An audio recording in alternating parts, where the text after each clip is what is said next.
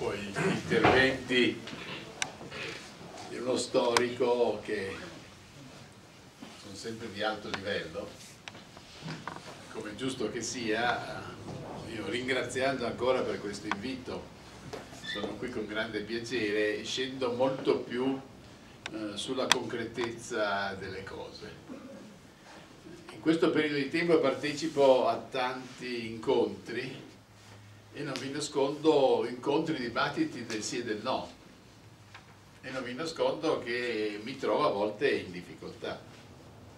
Perché mi trovo in difficoltà?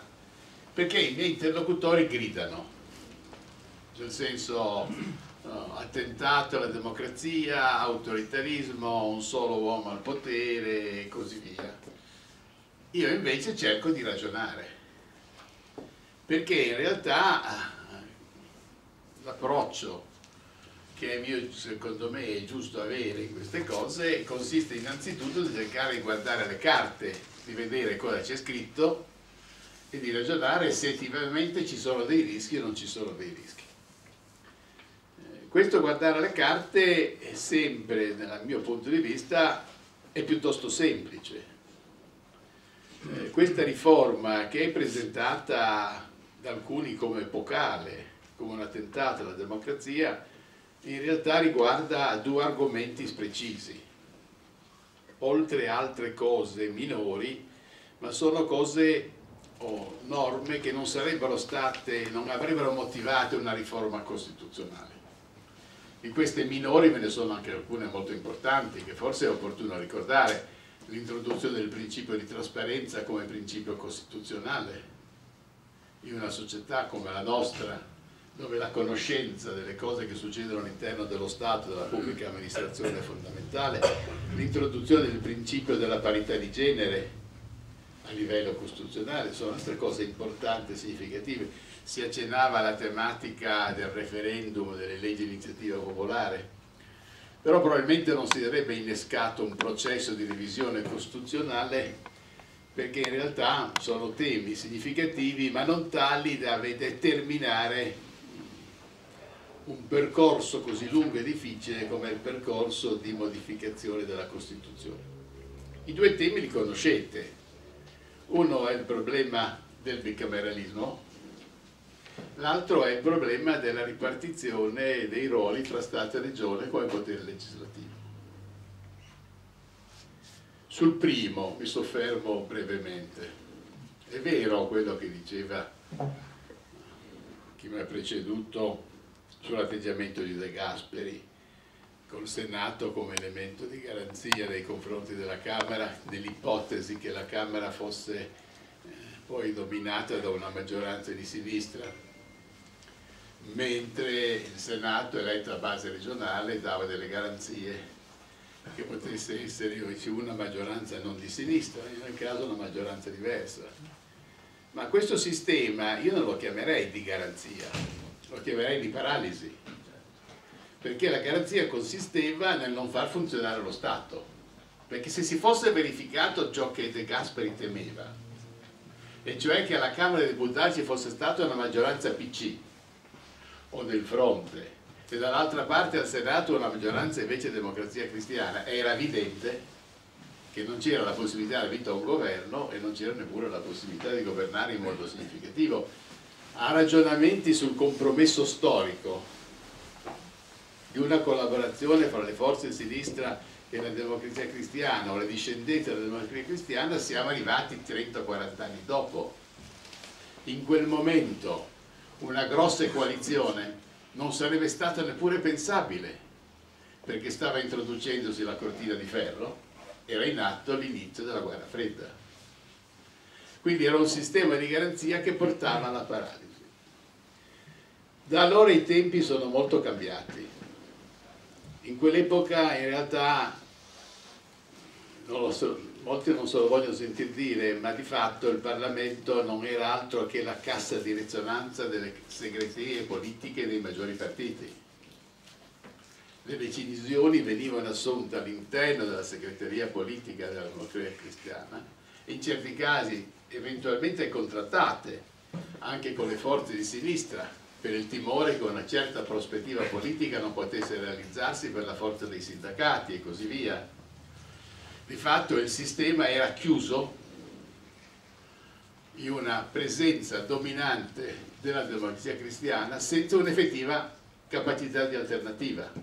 Si è parlato in allora di democrazia bloccata, democrazia incompleta. Questo sistema finisce, finisce attraverso un percorso lunghissimo. Oggi noi siamo di fronte a una situazione totalmente diversa. Una situazione che a mio giudizio si caratterizza in modo molto forte per una forte, cioè una rilevantissima crisi delle relazioni tra Parlamento e Governo. Chi si occupava di questi temi nel tempo ha sempre pensato che il nostro sistema statuale avesse un deficit, una mancanza nel fatto che il potere esecutivo era troppo debole. Vi faccio alcuni eh, sintomi di questa debolezza. Un sintomo a tutti evidente è quello è dato dal fatto che eh, da noi i governi si succedono frequentemente, che un governo duri oltre un anno, un anno e mezzo è già un record, se arriva a due anni è un record, perché di fatto si determinano delle situazioni per cui la compagine governativa non può andare avanti, ha difficoltà ad andare avanti. Se confrontate questa situazione con gli altri paesi europei con cui noi ci misuriamo quotidianamente, in questi paesi europei la situazione è totalmente diversa il governo si forma all'inizio della legislatura e normalmente dura tutta la legislatura. Se la legislatura è di 5 anni, dura 5 anni, se è di 4 anni, dura 4 anni. Da noi non succede mai. Un governo di legislatura che duri una legislatura, io personalmente non lo ricordo è sempre stato necessario dar vita a delle modificazioni, che frequentemente erano modificazioni di compagine governativa, ma molto anche modificazioni politiche. Essendo modificazioni politiche o anche di compagine governativa, è evidente che il programma politico che il governo, che era stato inizialmente indicato, non poteva realizzarsi, veniva impedito. La situazione negli ultimi vent'anni si è ulteriormente aggravata se guardate la produzione legislativa del Parlamento, quasi tutta la produzione legislativa è frutta di decreti legge convertiti. Cioè, il, il governo non ha la forza neppure di presentare un disegno di legge. Se presenta un disegno di legge sa quello che presenta ma non sa quello che esce. Allora ricatta il Parlamento, emana un decreto legge in modo tale che il Parlamento si trovi di fronte al fatto compiuto. E che in qualche modo il Parlamento deve prendere o lasciare. E siccome lasciare un decreto legge che è già prodotto parte dei suoi effetti riesce difficile quindi si procede a delle conversioni, a delle modificazioni ma in qualche modo il governo riesce a realizzare il suo obiettivo. Ma la posizione di ricatto aumenta molto di più se considerato un altro fenomeno sempre più frequente che è la questione di fiducia non solo fa un decreto legge, ma poi non riesce a farlo inghiottire al Parlamento, allora pone la questione di fiducia.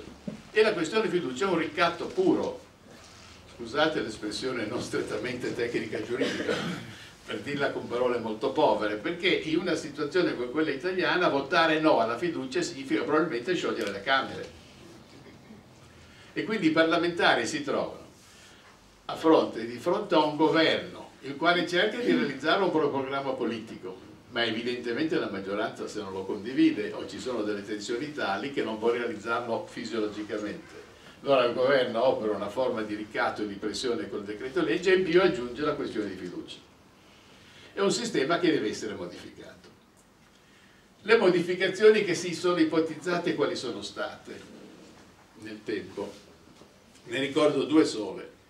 Quella della bicamerale, presieduta da, da, Lemma. La Commissione bicamerale aveva previsto addirittura l'elezione diretta del Presidente della Repubblica. Voleva introdurre un sistema di tipo francese che evidentemente con un'elezione diretta del Presidente della Repubblica che aveva delle componenti di gestione di potere statuale ipotesi, rapporti con, con gli esteri, la sicurezza interna e così via, poi il governo dovesse essere sia un governo che avesse la fiducia del Parlamento ma anche la fiducia del Presidente della Repubblica. Sistema francese, quindi un forte rafforzamento del potere esecutivo. Secondo modello nel 2000, che è del 2006, maggioranza di destra, di Forza Italia, una riforma costituzionale che è stata respinta poi al referendum, questa riforma prevedeva l'elezione diretta del Presidente del Consiglio e l'attribuzione al Presidente del Consiglio, quindi al Governo, del potere di sciogliere le Camere, oltre che del potere di nominare e revocare i ministri, limitando moltissimo il ruolo del Presidente della Repubblica. Entrambe le riforme rispondevano a un'unica uh, esigenza, quella del rafforzamento del potere esecutivo perché la gestione dei rapporti tra il potere esecutivo e il Parlamento era diventata sostanzialmente impossibile. Da questo punto di vista questa riforma è molto, io dico sempre una riforma molto, molto dolce, molto soft, perché non modifica in nulla i poteri del capo del governo. La norma costituzionale della revisione è uguale alla norma costituzionale oggi vigente. I poteri del capo del governo restano inalterati, ma restano inalterati anche i poteri del governo in sé, dei singoli del Consiglio dei Ministri e così via. Qualche modificazione lì sarebbe stata opportuna, non è stata introdotta perché evidentemente non c'era la maggioranza. Si vuole lavorare, si è lavorato cercando di avere un risultato minore che non era quello di un forte rafforzamento del potere esecutivo, ma di creare un rapporto fisiologico fra maggioranza parlamentare e governo eliminando dal rapporto di fiducia politica una delle due Camere, il Senato. Il rapporto di fiducia politica oggi è soltanto con la Camera dei Deputati, sarà soltanto con la Camera dei Deputati, alla Camera dei Deputati competerà la totalità del potere legislativo con delle collaborazioni a livello di, di, consigli, di consultazione con il Senato sostanzialmente, con qualche potere deliberativo del Senato, ma quantitativamente minori anche se qualitativamente pure importanti, di modo tale che ci sia la possibilità che si crei una maggioranza che dia vita a un governo che avendo un solo interlocutore il sistema diciamo di trappole e trappolini, di inciucci diminuisce. La possibilità che si creino dei rischi maggiori per la vita del governo non si azzera perché evidentemente anche la Camera potrebbe avere questi comportamenti scorretti ma diminuisce di molto. Si elimina uno dei due possibili ostacoli. Questo è il risultato che si vuole raggiungere che è un risultato sostanzialmente di snellimento dell'attività parlamentare State bene che non è un problema di accelerazione, secondo me, ma un problema di qualità della normazione.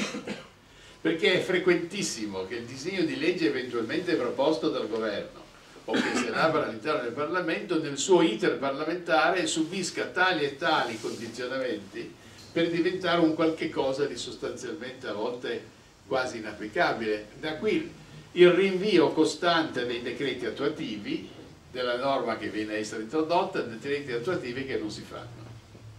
Un Parlamento che può lavorare fisiologicamente in modo più tranquillo ha, a mio giudizio, la possibilità di dare vita a della normazione di migliore qualità. Questo è il disegno di fondo. Il disegno di fondo che si realizza attraverso una modificazione di quello che chiamiamo Senato, Senato che io non l'avrei chiamato ancora Senato, avrei cambiato nome se fosse stato possibile perché eh, si eliminerebbero degli equivoci. Questo nuovo Senato non ha nulla a che fare con il vecchio Senato. Tant'è vero che la stessa riforma dice che il Senato è rappresentativo delle istituzioni territoriali, mentre la Camera dei Deputati è espressione della nazione, della sovranità popolare. Sono due cose diverse il problema di rappresentanza democratica si realizza pienamente nel nostro ordinamento con la Camera dei Deputati, con i consigli comunali, con i consigli regionali. Il Senato è una struttura di secondo grado rispetto alle istituzioni territoriali perché ha lo compito non di interpretare la volontà della nazione, ma il compito di interpretare le istanze delle regioni e dei comuni, quindi un ruolo diverso. È un modello che analoga a quello che è presente in altri ordinamenti, perché sia Germania che Francia, ma qui ho uno studioso che poi facilmente può correggermi, dico delle cose sbagliate, hanno una seconda Camera che è pur sempre espressione dei territori rispetto alla prima Camera che è invece espressione della sovranità popolare potevano, darsi, potevano farsi dei, un maggior numero di senatori un minor numero di senatori, si poteva dare più poteri o meno poteri, ma sono particolari su un disegno che resta un disegno logico e coerente e un disegno che a mio giudizio si caratterizza forse per una essere un po' debole sotto il profilo del rafforzamento del potere esecutivo. Cioè è proprio il contrario di quello di cui quando faccio i dibattiti vengo accusato di essere portatore, eh, introduttore in Italia di... Eh, che agevano l'introduzione in Italia di un sistema autoritario. Dal punto di vista dell'autoritarismo il sistema resterà sostanzialmente inalterato rispetto a quello attuale. Interviene poi la legge elettorale che sappiamo tutti che era predetto uno snodo, però anche qui il ragionamento da fare è sostanzialmente questo. Questa modificazione costituzionale è valida in sé, indipendentemente dalla legge elettorale, a mio giudizio. Anche con una legge elettorale maggioritaria, scusate, non maggioritaria ma di tipo proporzionalistico, noi avremo pur sempre un vantaggio ad avere una sola Camera espressione del popolo che si confronta con il governo, invece di due essendo due c'era Zagrebeschi riporta in questo suo libretto una frase di un abbato AIS che lui cita come fosse un grande confessore io non so chi era. Magari ci dice qualche cosa. Il quale AIS sostanzialmente dice ma se sono uguali sono un doppione. Se sono diverse sono la paralisi. Cioè, è, è questa la realtà sostanziale di questa riforma io non vorrei dire nient'altro, ci sarebbe poi da pagare il secondo punto dei rapporti fra Stato e Regione, ma magari se ti dice, di, sì. dice ancora tu. Sì, e poi ne parli. D'accordo, passo ancora la parola al mio, al mio collega e vi ringrazio.